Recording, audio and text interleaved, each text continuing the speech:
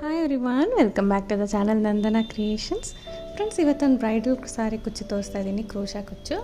So colour combination ನೋಡಿ teal green ಅಂದರೆ Rama green ಮತ್ತು ಮರೂನ್ ಪಿಂಕ್ ಕಲರ್ ಕಾಂಬಿನೇಷನಲ್ಲಿದೆ ಸೊ ಇದಕ್ಕೆ ನೀಡಲ್ ಬಂದು ಟೆನ್ ಅಥವಾ ಲೆವೆನ್ ನಂಬರ್ ತೊಗೊಳ್ಳೋಣ. ನಾನು ಇಲ್ಲಿ ಲೆವೆನ್ ತೊಗೋತಾ ಇದ್ದೀನಿ ಫ್ರೆಂಡ್ಸ್ ಇದಕ್ಕೆ ಸ್ಮಾಲ್ ಬೀಡ್ಸ್ ಅಂದರೆ two M M three M M ಎರಡು ಯೂಸ್ ಮಾಡ್ತೀನಿ. ಸೊ ಇದಕ್ಕೆ ಸ್ಟಾರ್ಟ್ ಮಾಡ್ಕೊಳ್ಳೋಣ. ಆ್ಯಸ್ ಯೂಶಲ್ ಆರಳೆ ದಾರ ತೊಗೊಂಡು. ರೆಡಿ ಮಾಡಿ ಇಟ್ಕೊಂಡಿದ್ದೀನಿ ಪಲ್ಲು ಕಲರೇ ತೊಗೊಂಡಿದ್ದೀನಿ ಫ್ರೆಂಡ್ಸ್ ಯಾಕಂದರೆ ಲಾಸ್ಟ್ ಅಂದರೆ ಇದು ಎರಡು ಸ್ಟೆಪ್ ಆರ್ಚ್ ಇರೋವಂಥ ಡಿಸೈನು ಸೆಕೆಂಡ್ ಆರ್ಚ್ ಬಂತು ಸ್ವಲ್ಪ ಬೀಡ್ಸ್ ಜಾಸ್ತಿ ಬರುತ್ತೆ ಅಂದ್ಬಿಟ್ಟು ನಾನು ಮೇಲ್ಗಡೆ ಆರ್ಚನ್ನ ಸೇಮ್ ಕಲರ್ ತೊಗೊಂಡಿದ್ದೀನಿ. ಅವಾಗ ಬ್ಯಾಲೆನ್ಸ್ ಆಗುತ್ತೆ ನಮಗೆ. ಸೊ ತುಂಬ ಕಲರ್ ಚೇಂಜ್ ಇದ್ದರೆ ಒಂಥರ ಕಾಣಿಸುತ್ತೆ ಅಂದ್ಬಿಟ್ಟು ನಾನು ಸ್ವಲ್ಪ ಬ್ಯಾಲೆನ್ಸ್ ಮಾಡೋದಕ್ಕೆ ಪಲ್ಲು ಕಲರೇ ಸ್ಟಾರ್ಟ್ ಮಾಡಿದ್ದೀನಿ. ಸೊ ಸ್ಟಾರ್ಟಿಂಗ್ ಎರಡು ಸತಿ ಸಿಂಗಲ್ ಕ್ರೋಶ ಮಾಡಿಕೊಂಡು ಫೈವ್ ಚೈನ್ ಮಾಡ್ಕೊಳ್ಳೋಣ. ಎರಡು ಸತಿ. ಸಿಂಗಲ್ ಕ್ರೋಶ ಆದಮೇಲೆ ಫೈ ಚೈನ್ಸ್ನ ಮಾಡಿಕೊಂಡು ಎಲ್ಲಿಗೆ ಬರುತ್ತೆ ಅಲ್ಲಿಗೆ ಕರೆಕ್ಟಾಗಿ ಲಾಕ್ ಮಾಡ್ಕೊಳ್ತೀನಿ. ಸೊ ಎಲ್ಲಿಗೆ ಬರುತ್ತೆ ಅಲ್ಲಿಗೆ ಕರೆಕ್ಟಾಗಿ ಲಾಕ್ ಮಾಡ್ಕೊಳ್ಳೋಣ.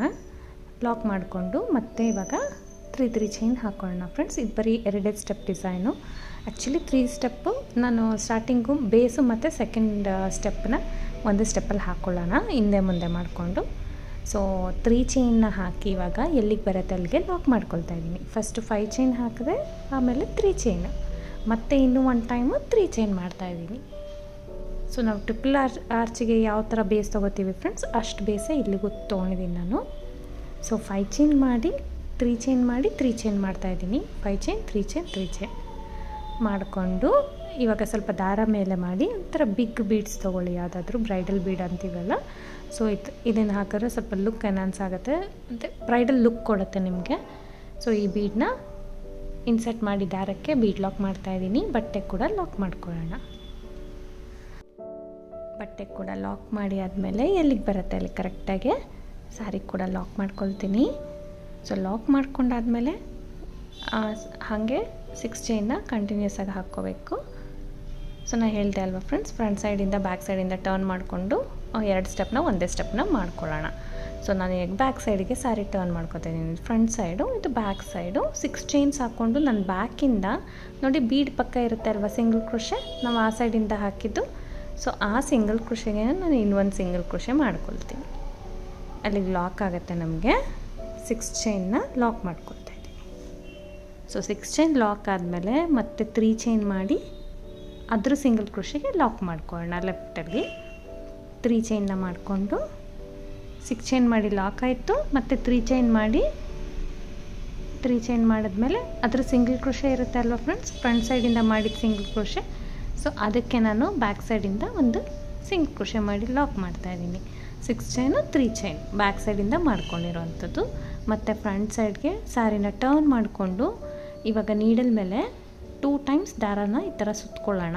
ನೀಡಲ್ ಮೇಲೆ ಎರಡು ಸತಿ ದಾರ ಸುತ್ತಕೊಂಡು ಸಿಕ್ಸ್ ಚೈನ್ ಏನಿದೆ ನಮಗೆ ಬೀಡ್ ಕೆಳಗಡೆ. ಸೊ ಅದ್ರ ಒಳಗಡೆ ನೀಡಲ್ನ ಹಾಕಿ ದಾರನ ತೊಗೊಂಡು ಬಂದು ನಾಲ್ಕು ದಾರ ಇರುತ್ತೆ ನೀಡಲ್ ಮೇಲೆ ಇವಾಗ. ಫಸ್ಟ್ ಎರಡು ದಾರನ ಒಂದು ಮಾಡ್ಕೊಳ್ಳೋಣ. ಮತ್ತೆ ಎರಡು ದಾರನ ಒಂದು ಮಾಡ್ಕೊಳ್ಳೋಣ. ಮತ್ತು ಇನ್ನು ಮಿಕ್ಕಿದ್ದ ಎರಡು ದಾರನ ಒಂದು ಮಾಡ್ಕೊಳ್ಳೋಣ. ಒಟ್ಟು ತ್ರೀ ಟೈಮ್ಸ್ ಈ ಥರ ಮಾಡ್ಕೋತೀವಲ್ಲ ಟ್ರಿಪಲ್ ಕ್ರೋಶ ಅಂತೀವಿ. ಸೊ ಈ ಟ್ರಿಪಲ್ ಕೃಷನ ಮತ್ತೆ ನೀಡಲ್ ಮೇಲೆ ಎರಡು ಸತಿ ದಾರ ಸುತ್ಕೋಬೇಕು. ಅದೇ ಸೇಮ್ ಗ್ಯಾಪಲ್ಲಿ ಹೋಗಿ ದಾರನ ತಂದು ಎರಡು ದಾರ ಒಂದು, ಎರಡು ದಾರ ಒಂದು ಮತ್ತೆರಡು ದಾರನ ಒಂದು ಮಾಡ್ಕೊಳ್ಳೋಣ. ಸೊ ಇನ್ನೂ ಒಂದು ಟ್ರಿಪಲ್ ಕೃಷ ಆಯಿತು. ಇದೇ ರೀತಿ ಮತ್ತೆ ಟ್ರಿಪಲ್ ಕೃಷಗಳನ್ನ ಮಾಡ್ಕೊಳ್ತಾ ಇದ್ದೀನಿ. ಸಿಕ್ಸ್ ಚೈನ್ ಏನಿದೆ ನಮಗೆ? ಅಲ್ಲಿ ಕರೆಕ್ಟಾಗಿ ಹನ್ನೆರಡು ಕಂಬಗಳನ್ನ ಮಾಡಿಕೊಂಡ್ರೆ ಸಾಕಾಗುತ್ತೆ ಫ್ರೆಂಡ್ಸ್ ನಾನಿಲ್ಲಿ ಹದಿಮೂರು ಮಾಡ್ಕೊಂಡಿದ್ದೀನಿ. ಸೊ ಹನ್ನೆರಡು ಮಾಡಿಕೊಂಡ್ರೆ ಕರೆಕ್ಟಾಗಿ ಆಗುತ್ತೆ ಅನಿಸುತ್ತೆ. ಒಂದೇ ಒಂದು ಸ್ವಲ್ಪ ಯಾರ್ಯಾರಿಗೆ ಸರಿಯಾಗಿ ಫಿನಿಶಿಂಗ್ ಬರಲ್ಲ ಅಂಥವ್ರಿಗೆ ಒಂಥರ ಫ್ರಿಲ್ಸ್ ಬರೋಕ್ಕೆ ಆಗುತ್ತೆ. ಅದಕ್ಕೋಸ್ಕರ ನೀವು ಬಿಗಿನರ್ಸ್ ಆದರೆ ಹನ್ನೆರಡೇ ಕಂಬ ಹಾಕ್ಕೊಳ್ಳಿ. ಚೆನ್ನಾಗಿ ಪ್ರಾಕ್ಟೀಸ್ ಇದ್ದರೆ ಹದಿಮೂರು ಕಂಬ ಮಾಡ್ಕೊಳ್ಳಿ. ಕರೆಕ್ಟಾಗಿ ಇಲ್ಲಿ ನಾನಿಲ್ಲಿ ಹದಿಮೂರು ಕಂಬನ ಮಾಡಿಕೊಂಡು ಲಾಸ್ಟ್ ಕಂಬ ನೋಡಿ ಹದಿಮೂರು ಕಂಬ ಆಯಿತು. ಹದಿಮೂರು ಕಂಬ ಆದಮೇಲೆ ನೀಡಲ್ ಮೇಲೆ ಒನ್ ಟೈಮ್ ದಾರ ಸುತ್ಕೋಬೇಕು. ಇಲ್ಲಿ ಸಿಂಗಲ್ ಕ್ರೋಶೆ ಹಾಕಿರ್ತೀವಲ್ವ? ಅದ್ರ ಒಳಗಡೆ ಹೋಗಿ ದಾರನ ತಂದು ಡಬಲ್ ಕ್ರೋಶೆ ಮಾಡ್ಕೊಳ್ತೀನಿ. ಸೇ, ಸೀರೆಗೆ ಸಿಂಗಲ್ ಕ್ರೋಶೆ ಹಾಕಿರ್ತೀವಲ್ಲ, ಅಲ್ಲಿ ಒಂದು ಲಾಸ್ಟಲ್ಲಿ ಡಬಲ್ ಕ್ರೋಶೆ ಮಾಡಿ ಎಲ್ಲಿಗೆ ಬರುತ್ತೆ ಅಲ್ಲಿಗೆ ಲಾಕ್ ಮಾಡ್ಕೊಳ್ಳೋಣ. ಫಿನಿಶಿಂಗ್ ನೀಟಾಗಿ ಬರುತ್ತೆ. ಫ್ರೆಂಡ್ಸ್ ನಾನು ಏನು ಹದಿಮೂರು ಕಂಬ ಹೇಳಿದ್ದೆ. ಸೊ ನಾವು ಸ್ಟಾರ್ಟಿಂಗ್ ತ್ರೀ ಚೈನ್ ಬ್ಯಾಕ್ ಸೈಡಿಂದ ಹಾಕಿದ್ದೀವಲ್ಲ ಅದನ್ನು ಕಂಬ ಕನ್ಸಿಡರ್ ಒಂದು ಕಂಬ ಅಂತ ಕನ್ಸಿಡರ್ ಮಾಡಬೇಕು. ಅದನ್ನು ಸೇರಿಸಿ ಹದಿಮೂರು. ಲಾಸ್ಟಲ್ಲಿ ಒಂದು ಡಬಲ್ ಕ್ರೋಶೆ, ಅದನ್ನು ಬಿಟ್ಬಿಟ್ಟಿದ್ದೀನಿ. ಸೊ ನೀವು ತ್ರೀ ಚೈನ್ ಬಿಡೋದಾದರೆ ನೀವು ಹನ್ನೆರಡು ಕಂಬನೇ ಹಾಕಬೇಕು. ಸೊ ಅದು ಕರೆಕ್ಟಾಗಿ ಗ್ಯಾಪ್ನ ಇಟ್ಕೊಳ್ಳಿ. ಮತ್ತು ಆರ್ಚ್ ಕಂಪ್ಲೀಟಾಗಿ ಲಾಕ್ ಆದ ತಕ್ಷಣ ತ್ರೀ ಚೈನ್ ಹಾಕಿ ಲಾಕ್ ಮಾಡಿದೆ ಮತ್ತು ಫೈವ್ ಚೈನ್ ಹಾಕಿ ಲಾಕ್ ಮಾಡ್ತಾ ಇದ್ದೀನಿ. ಎಲ್ಲಿಗೆ ಬರುತ್ತೆ ಅಲ್ಲಿ ಕರೆಕ್ಟಾಗಿ ಲಾಕ್ ಮಾಡ್ಕೊಳ್ಳೋಣ. ಲಾಕ್ ಆದಮೇಲೆ ಮತ್ತೆ ತ್ರೀ ಚೈನ್ ಇದು ಸ್ಟಾರ್ಟಿಂಗ್ ಮಾಡಿದ್ವಿ ಅಲ್ಲ five chain three chain three chain ಒಂದು ಸತಿ ಫೈ ಚೈನ್ ಆದ ತಕ್ಷಣ ಎರಡು ಸತಿ ತ್ರೀ ಚೈನ್ ಮಾಡಬೇಕು. ಆರ್ಚ್ ಆದ ತಕ್ಷಣ ಒಂದು ಸತಿ ತ್ರೀ ಚೈನ್ ಮಾಡಬೇಕು. ಸೊ ಒಂದು ಆರ್ಚಿಂದ ಇನ್ನೊಂದು ಆರ್ಚಿಗೆ ನಿಮಗೆ ಸೊ ಎಷ್ಟು ಬರಬೇಕಂದ್ರೆ three chain five chain three three ಆ ಥರ ಕೌಂಟಿಂಗ್ಸು ಕರೆಕ್ಟಾಗಿ ನೋಡ್ಕೊಂಡು ಮಾಡ್ಕೊಳ್ಳಿ. ಕನ್ಫ್ಯೂಷನ್ ಆಗಲ್ಲ friends five chain right side ಒಂದು ಸತಿ ತ್ರೀ ಹಾಕಬೇಕು ಫೈ ಚೈನ್ ಲೆಫ್ಟ್ ಸೈಡು ಎರಡು ಸತಿ ತ್ರೀ ಚೈನ್ ಹಾಕಬೇಕು. ಅಷ್ಟೇ. ನೋಡಿ ಇವಾಗ. ಒನ್ ಟೈಮ್ ತ್ರೀ ಚೈನ್ ಮಾಡಿ ಫೈವ್ ಹಾಕ್ತೀನಿ, ಮತ್ತು ಎರಡು ಟೈಮ್ ತ್ರೀ ಮಾಡ್ತೀನಿ. ಈ ಥರ ಆರ್ಚ್ ಬರುತ್ತೆ ಅಲ್ವಾ? ಸ್ವಲ್ಪ ಫೋಲ್ಡ್ ಅನಿಸುತ್ತೆ ಸೆಕೆಂಡ್ ಸ್ಟೆಪ್ ಆದ ತಕ್ಷಣ ಕರೆಕ್ಟಾಗಿ ಆಗುತ್ತೆ ಸ್ಟ್ರೇಟಾಗಿ ಬರುತ್ತೆ ನಿಮಗೆ. ಸೊ ನೆಕ್ಸ್ಟ್ ಆರ್ಚ್ಗೆ ಸ್ಟಾರ್ಟ್ ಮಾಡ್ಕೊಳ್ಳೋಣ. ಮತ್ತು ಸ್ವಲ್ಪ ದಾರ ಮೇಲೆ ಮಾಡಿ ಸೇಮ್ ಬೀಡನ್ನ ಇನ್ಸೆಟ್ ಮಾಡಿ ಬೀಡ್ ಲಾಕ್ ಮಾಡ್ಕೋಬೇಕು, ಬಟ್ಟೆ ಕೂಡ ಲಾಕ್ ಮಾಡ್ಕೋಬೇಕು. ಬೀಡ್ ಲಾಕ್ ಬಟ್ಟೆ ಕೂಡ ಎಲ್ಲಿಗೆ ಬರುತ್ತೆ ಅಲ್ಲಿಗೆ? ಲಾಕ್ ಎಲ್ಲಿಗೆ ಬರುತ್ತೆ. ಅಲ್ಲಿಗೆ ಲಾಕ್ ಮಾಡಿ ಸಿಕ್ಸ್ ಚೈನ್ ಮಾಡಿ ಬ್ಯಾಕ್ ಸೈಡಿಂದ ಲಾಕ್ ಮಾಡ್ಕೊಳ್ತೀನಿ. ಬ್ಯಾಕ್ ಸೈಡಿಂದ ಬೀಡಿಂದ ಇರುತ್ತೆ ಅಲ್ವಾ? ಸೊ ಸಿಕ್ಸ್ ಚೈನಲ್ಲಿ ಲಾಕ್ ಮಾಡ್ಕೊಳ್ಳೋಣ. ಮತ್ತು ತ್ರೀ ಚೈನ್ ಮಾಡಿ ಲಾಕ್ ಮಾಡ್ಕೊಳ್ಳೋಣ. ಮಾಡ್ಕೊಂಡು ಲಾಕ್ ಮಾಡಿ ಆದಮೇಲೆ ಫ್ರಂಟ್ ಸೈಡ್ಗೆ ಸ್ಯಾರಿನ ಟರ್ನ್ ಮಾಡಿಕೊಂಡು ಇವಾಗ ಟ್ರಿಪಲ್ ಕೃಷಿ ಸ್ಟಾರ್ಟ್ ಮಾಡ್ಕೊಳ್ಳೋಣ. ಸೊ ಇವಾಗ ತ್ರೀ ಚೈನ್ ಬ್ಯಾಕ್ ಸೈಡಿಂದ ಹೇಳಿದ್ವಿ ಅಲ್ವಾ ಫ್ರೆಂಡ್ಸ್ ಅದನ್ನು ಬಿಟ್ಟು ಕರೆಕ್ಟಾಗಿ ಹನ್ನೆರಡು ಕಂಬ ಹಾಕ್ಕೊಳ್ಳಿ ಸಾಕಾಗತ್ತೆ. ಸೊ ಅದನ್ನು ಸೇರಿದ್ರೆ ಹದಿಮೂರು ಕಂಬ. ಹಾಕ್ಕೊಂಡು ಲಾಸ್ಟಲ್ಲಿ ಒಂದು ಡಬಲ್ ಕ್ರೋಶೆ ಮಾಡ್ತೀನಿ. ಅದು ಕೌಂಟ್ ಮಾಡಬೇಡಿ ಫ್ರೆಂಡ್ಸ್ ಕಂಬ ಥರ ಅದು ಬೇಸ್ ಲೈನ್ಗೆ ಆಗೋಗುತ್ತೆ. ಸೊ ಅದಕ್ಕೋಸ್ಕರ ಮತ್ತು ಒಂದು ಆರ್ಚಿಂದ ಇನ್ನೊಂದು ಆರ್ಚ್ಗೆ ತ್ರೀ ಫೈವ್ ತ್ರೀ ಚೈನ್ ಈ ಥರ ಬರಬೇಕು ನಮಗೆ. ಸೊ ಇದು ಫಸ್ಟ್ ಸ್ಟೆಪ್ ಆದಮೇಲೆ ಸೆಕೆಂಡ್ ಸ್ಟೆಪ್ಗೆ ನೋಡಿ ಸ್ಯಾರಿ ಕಲರ್ಗೆ ಒಂದು ಸ್ವಲ್ಪ ಮಣಿನ ಪೋಣಿಸ್ಕೊಂಡು ಲಾಕ್ ಮಾಡ್ಕೊಂಡು ಇಟ್ಕೊಂಡಿದ್ದೀನಿ ಗಂಟು ಮಾಡಿಕೊಂಡು. ಇವಾಗ ಸ್ಟಾರ್ಟ್ ಮಾಡ್ಕೊಳ್ಳೋಣ. ಸ್ಟಾರ್ಟಿಂಗು ಒಂದು ಸಿಂಗಲ್ ಕ್ರೋಶೆ ಅಲ್ಲೇ ಸಿಂಗಲ್ ಕ್ರೋಶೆ ಒಳಗಡೆ ಒಂದು ಟೈಮ್ ಸಿಂಗಲ್ ಕ್ರೋಶೆ ಮಾಡ್ತೀನಿ. ಫೈ ಚೈನ್ ಇರೋ ಕಡೆ ಫೋರ್ ಚೈನ್ ಇಡ್ಸಿದ್ರೆ ಫೋರ್ ಚೈನ್ ಇಲ್ಲ ಫೈ ಚೈನ್ ಇಡ್ಸಿದ್ರೆ ಫೈ ಚೈನ್ ಅದ್ರ ಒಳಗಡೆ ಒಂದು ಸೈ ಸಿಂಗಲ್ ಕ್ರೋಶೆ ಮಾಡಿದ್ದೀನಿ. ನಾಟ್ ನೆಸಸರಿ ಫ್ರೆಂಡ್ಸ್ ನೀವು ಹೆಂಗೆ ಸ್ಟಾರ್ಟ್ ಮಾಡ್ತೀರಾ? ಅದೇ ರೀತಿ ನೀವು ಸ್ಟಾರ್ಟ್ ಮಾಡ್ಬೋದು. ಫೈವ್ ಇಡ್ಸಲ್ಲ ಫೋರ್ ಇಡ್ಸುತ್ತೆ ಆದರೆ ಸಿಂಗಲ್ ಕ್ರೋಶೆ ಒಳಗಡೆ ಒಂದು ಸಿಂಗಲ್ ಕ್ರೋಶೆ ಮಾಡ್ಕೊಳ್ತೀವಿ. ಸೊ ಇದು ಮಾಡಿಕೊಂಡು ಡೈರೆಕ್ಟಾಗಾದ್ರೂ ಸ್ಟಾರ್ಟ್ ಮಾಡ್ಬೋದು, ಇಲ್ಲಾಂದರೆ ಈ ತ್ರೀ ಚೈನ್ ಒಳಗಡೆ ಒಂದು ಸಿಂಗಲ್ ಕ್ರೋಶೆ ಆದರೂ ಸ್ಟಾರ್ಟ್ ಮಾಡ್ಕೋಬೋದು ಫ್ರೆಂಡ್ಸ್ ಕರೆಕ್ಟಾಗಿ ಡೈರೆಕ್ಟಾಗಿ ಸ್ಟಾರ್ಟ್ ಮಾಡಿದ್ರು ಕರೆಕ್ಟ್ ಆಗುತ್ತೆ ಡಿಸೈನು ಇಲ್ಲಾಂದರೆ ಒಂದು ಸಿಂಗಲ್ ಕ್ರೋಶೆ ಬೇಕಿದ್ದರೆ ಹಾಕ್ಬೋದು, ಇಲ್ಲಾಂದರೆ ಹಾಗೆ ಸ್ಟಾರ್ಟ್ ಮಾಡ್ಕೋಬೋದು. ಹಾಗೆ ಸ್ಟಾರ್ಟ್ ಮಾಡಿಕೊಂಡ್ರೆ ಬೆಟರು ವಿತೌಟ್ಸ್ ಸಿಂಗಲ್ ಕ್ರೋಶೆ ಇವಾಗ ಒಂದು ಬೀಡನ್ನ ಈ ಕಡೆ ಜರುಗಿಸ್ಕೊಳ್ಳೋಣ. ಒಂದು ಬೀಡನ್ನ ಈ ಥರ ಸ್ಲೈಡ್ ಮಾಡಿಕೊಂಡು ನೀಡಲ್ ಮೇಲೆ ಒನ್ ಟೈಮ್ ದಾರ ಸುತ್ಕೊಳ್ತೀನಿ. ಇಲ್ಲಿ ಸ್ಟಾರ್ಟಿಂಗ್ ತ್ರೀ ಚೈನ್ ತ್ರೀ ಚೈನ್ನ ಬಿಟ್ಟುಬಿಟ್ಟು ತ್ರೀ ಚೈನು ಒಂದು ಕಂಬ ಇರುತ್ತೆ ಅಲ್ವಾ? ಕಂಬದ ಮೇಲೆ ಹೋಲ್ ಗ್ಯಾಪ್ ಇರುತ್ತೆ ನಿಮಗೆ ಕಾಣಿಸುತ್ತೆ. ಕಂಬದ ಮೇಲಿರೋ ಹೋಲ್ ಗ್ಯಾಪ್ ಒಳಗಡೆ ನೀಡಲ್ನ ಹಾಕಿ ದಾರನ ತೊಗೊಂಡ್ಬರ್ತೀನಿ ಸೊ ಆ ಬೀಡ್ ಏನಿದೆ ಹಿಂದೆಗಡೆ, ಅದನ್ನು ಫ್ರಂಟ್ ಸೈಡ್ಗೆ ಮಾಡ್ಕೊಳ್ತೀನಿ. ಈ ಥರ ಫ್ರಂಟ್ ಸೈಡ್ ಬೀಡ್ ಹಿಂದೆಗಡೆ ಇದ್ದರೆ ಇಲ್ಲಾಂದರೆ ಆಲ್ಮೋಸ್ಟ್ ಅದು ಅದಾಗದೆ ಬಂದ್ಬಿಡುತ್ತೆ. ಒಂದೊಂದು ಟೈಮು ಹಿಂದೆ ಇರುತ್ತಲ್ವ, ಮುಂದೆ ಮಾಡಿಕೊಂಡು ಎರಡು ದಾರ ಒಂದು ಮಾಡ್ಕೊಳ್ಳೋಣ, ಮತ್ತೆರಡು ದಾರನ ಒಂದು ಮಾಡ್ಕೊಳ್ಳೋಣ. ಒಂದು ಡಬಲ್ ಕೃಷಿ ಆಯ್ತಲ್ವಾ? ಸೊ, ಒಂದು ಡಬಲ್ ಕೃಷಿ ಆದಮೇಲೆ ಟೂ ಚೈನ್ನ ಹಾಕ್ಕೊಳ್ಳೋಣ ಫ್ರೆಂಡ್ಸ್. ಒಂದು ಡಬಲ್ ಕೃಷಿ ಆದ ತಕ್ಷಣ ಟೂ ಚೈನ್ಸ್ನ ಹಾಕ್ಕೊಂಡು ಈ ಕಂಬ ಏನಿದೆ, ಕಂಬದ ಕೆಳಗಡೆ ಗ್ಯಾಪ್ ಇರುತ್ತೆ. ನೋಡಿ, ಈ ಥರ ಗ್ಯಾಪ್ ಇದೆ ಅಲ್ವಾ? ಸೊ ಆ ಗ್ಯಾಪಲ್ಲಿ ನೀಡಲ್ಲಿ ಹಾಕಿ ದಾರನ ತಂದು ಈ ಎರಡು ದಾರ ಸೇರಿ ಒಂದು ಮಾಡ್ಕೋತೀನಿ. ಪಿಕಾಟ್ ಆಗುತ್ತೆ. ಒಂದು ಬೀಡ್ ಹಾಕಿ ಒಂದು ಡಬಲ್ ಕ್ರೋಶೆ ಮಾಡ್ಕೋಬೇಕು. ಪಿಕಾಟ್ ಮಾಡಬೇಕು. ಎರಡು ಚೈನ್ ಹಾಕಿ. ಇವಾಗ ಸ್ವಲ್ಪ ದಾರ ಮೇಲೆ ಮಾಡಿ ಸ್ಮಾಲ್ ಬೀಡ್ ಫುಲ್ ಸ್ಮಾಲ್ ಬರುತ್ತಲ್ವ ಫ್ರೆಂಡ್ಸ್ ಅದಕ್ಕೆ ಲೆವೆನ್ ನಂಬರ್ ನೀಡಲ್ ತೊಗೊಂಡಿದ್ದೀನಿ ನಾನು. ಈಸಿಯಾಗಿ ಪೋಣಿಸ್ಕೋಬೋದಂತ. ಸೊ ದಾರನ, ದಾರಕ್ಕೆ ಬೀಡನ್ನ ಇನ್ಸರ್ಟ್ ಮಾಡಿ. ಮತ್ತು ಇವಾಗ ಈ ಲೆಫ್ಟ್ ಹ್ಯಾಂಡಲ್ ದಾರ ಇರುತ್ತಲ್ವ, ಅಲ್ಲಿಂದ ಒಂದು ಮಣಿನ ಜರುಗಿಸ್ಕೊಳ್ತೀನಿ ಈ ಸೈಡ್ಗೆ ಈ ಥರ ವಿ ಶೇಪಲ್ಲಿ ಎರಡು ಬೀಡು ಅಟ್ಯಾಚ್ ಆಗಬೇಕು. ಅವಾಗ ನಾವು ಕಂಬ ಸ್ಟಾರ್ಟ್ ಮಾಡಬೇಕು. ಸ್ಟಾರ್ಟಿಂಗ್ ಮಾತ್ರ ಒಂದು ಬೀಡ್ ಹಾಗೆ ಕಂಬ ಮಾಡ್ತೀನಿ. ಈ ಥರ ನೆಕ್ಸ್ಟ್ ಎಲ್ಲದಕ್ಕೂ ಈ ಥರ ಅಟ್ಯಾಚ್ ಮಾಡಿ, ನೋಡಿ ಕಂಬದ ಮೇಲಿರೋ ಹೋಲ್ ಗ್ಯಾಪಿಗೆ ನೀಡಲ್ನ ಹಾಕಿ ದಾರನ ತಂದು, ಈ ಹಿಂದೆ ಇರುತ್ತೆ ಬೀಡು ಬಿಗ್ ಬೀಡು ಅದನ್ನ ಮುಂದೆ ಪಾಸ್ ಮಾಡಿಕೊಂಡು ಮೂರು ದಾರ ಇರುತ್ತೆ ನೀಡಲ್ ಮೇಲೆ. ಫಸ್ಟ್ ಎರಡು ದಾರ ಒನ್ ಮಾಡ್ತೀನಿ, ಮತ್ತೆರಡು ದಾರ ಒನ್ ಮಾಡಿ ಒಂದು ಡಬಲ್ ಕ್ರೋಶೆ ಮಾಡ್ಕೊತೀನಿ. ಅದಾದಮೇಲೆ ಟೂ ಚೈನ್ಸ್ ಟೂ ಚೈನ್ ಮಾಡಿ ಕಂಬದ ಕೆಳಗಡೆ ದಾರ ಇರುತ್ತಲ್ವ ಕಂಬದ ಕೆಳಗಡೆ ಸಾರಿ ಸ್ಪೇಸ್ ಇರುತ್ತೆ ಅಲ್ವಾ ಗ್ಯಾಪ್ ಸೊ ಆ ಗ್ಯಾಪಲ್ಲಿ ನೀಡಲ್ ಹಾಕಿ ದಾರ ತಂದು ಈ ಎರಡು ದಾರ ಸೇರಿ ಒಂದು ಮಾಡ್ಕೋತೀನಿ. ಒಂದು ಮಾಡಿಕೊಂಡು ಒಂದು ಪಿಕಾಟ್ ಆಯಿತು. ಒಂದು ಬೀಡ್ ಹಾಕಿ ಪಿಕಾಟ್ ಮಾಡಿದ್ದೀನಿ ಮತ್ತು ಸ್ವಲ್ಪ ದಾರ ಮೇಲೆ ಮಾಡಿ ಚಿಕ್ಕ ಬೀಡನ್ನ ಆ್ಯಡ್ ಮಾಡ್ತೀನಿ. ಫ್ರೆಂಡ್ಸ್ ಪಿಕಾಟು ಮಾಡಿ ಚಿಕ್ಕ ಬೀಡನ್ನ ಆ್ಯಡ್ ಮಾಡಿರೋದು ಫಸ್ಟ್ ಟೈಮ್ ಟ್ರೈ ಮಾಡ್ತಾ ಇರೋದು ಹೇಗೆ ಕಾಣುತ್ತೆ ಅಂತ ಒಂದು ಸ್ವಲ್ಪ ಡಿಫ್ರೆಂಟಾಗಿ ಚೆನ್ನಾಗಿ ಕಾಣಿಸುತ್ತೆ ರಿಚ್ಚಾಗಿ ಕಾಣುತ್ತೆ. ಮತ್ತು ಆ ಸೈಡ್ ಬೀಟ್ ಕೂಡ ಈ ಕಡೆ ಸ್ಲೈಡ್ ಮಾಡ್ಕೋತೀನಿ. ಇವಾಗ ನೀಡಲ್ ಮೇಲೆ ದಾರ ಸುತ್ತಕೊಂಡು ಪಕ್ಕದ ಅಲ್ಲಿರೋ ಕಂಬದ ಮೇಲೆ ಹೋಲ್ ಗ್ಯಾಪ್ ಇರುತ್ತಲ್ವ ಸೊ ಅಲ್ಲಿ ಕಂಬ ಮಾಡ್ಕೊಳ್ತಾ ಇದ್ದೀನಿ. ನೋಡಿ, ಇವಾಗ ಬೀಡ್ ಅದಾಗದೆ ಮುಂದೆ ಬಂತು. ಸೊ ಈ ಬಿಗ್ ಬೀಡ್ ಏನಿದೆ ಫ್ರೆಂಡ್ಸ್ ಅದು ಬಿಗ್ ಬೀಡ್ ಬೇಡ ಅಂದರೆ ನಾನು ಏನು ಸ್ಮಾಲ್ ಸೈಜ್ ಬೀಡ್ ತೊಗೊಂಡಿದ್ದೀನಿ, ಅದನ್ನಾದರೂ ನೀವು ಇದಕ್ಕೆ ಹಾಕ್ಕೋಬೋದು. ಸೊ ಬೀಡ್ಸ್ನ ಎರಡು ಒಂದೇ ಸೈಜ್ ಕೂಡ ನೀವು ತೊಗೋಬೋದು. ನಾನು ಇಲ್ಲಿ ಒಂದು ದೊಡ್ಡದು, ಒಂದು ಚಿಕ್ಕದು ತೊಗೊಂಡಿದ್ದೀನಿ. ಬೇಕಂದರೆ ಚಿಕ್ಕದೇ ಯೂಸ್ ಮಾಡ್ಕೊಳ್ಬೋದು. ಸೊ ಲಾಸ್ಟ್ ಸ್ಟೆಪ್ಪಿಗೆ ಮಾತ್ರ ಅಂದರೆ ಪಿಕಾಟ್ ಆದಮೇಲೆ ಹಾಕೋ ಬೀಡ್ ಮಾತ್ರ ನೀವು ಚಿಕ್ಕದೇ ತೊಗೋಬೇಕು. ಇಲ್ಲಾಂದರೆ ಫ್ರಿಲ್ಸ್ ಬಂದ್ಬಿಡುತ್ತೆ ಗ್ಯಾಪ್ ಜಾಸ್ತಿ ಆಗುತ್ತೆ. ಈ ಒಂದು ಪಿಕಾಟು ಇರುತ್ತೆ, ಆಮೇಲೆ ಬೀಡು ಇರುತ್ತಲ್ವ? ಸೊ ಅದಕ್ಕೋಸ್ಕರ ಸ್ಮಾಲ್ ಸೈಜೇ ತೊಗೊಳ್ಳಿ ಆದಷ್ಟು. ನೋಡಿ ಇವಾಗ ಸ್ಮಾಲ್ ಸೈಜ್ ಬೀಡನ್ನ ಇನ್ಸರ್ಟ್ ಮಾಡೋಣ. ಇವಾಗ ಒಂದು ಬೀಡನ್ನ ಈ ಥರ ಜರುಗಿಸ್ಕೊಳ್ಳೋಣ.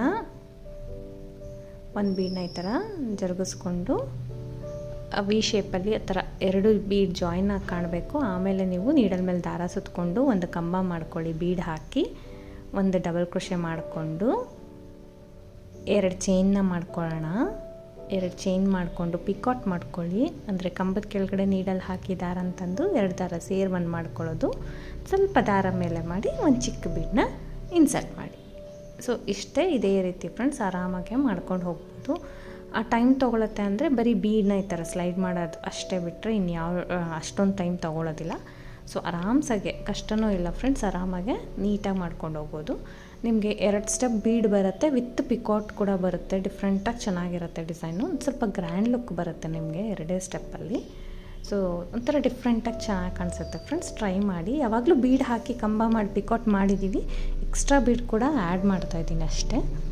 ಸೊ ಬಟ್ ಅದು ಲುಕ್ಕೇ ಚೇಂಜ್ ಕಾಣುತ್ತೆ ನಿಮಗೆ.